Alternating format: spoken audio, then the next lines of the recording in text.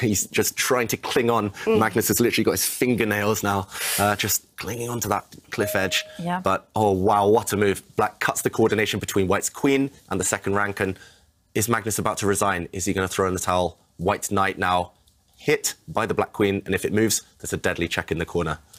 It's just game over. Yeah, game over. Wow. Has he ever won before, Praggnanandhaa, against Magnus Carlsen in any official game? I don't think so. I don't think No, think I don't think so.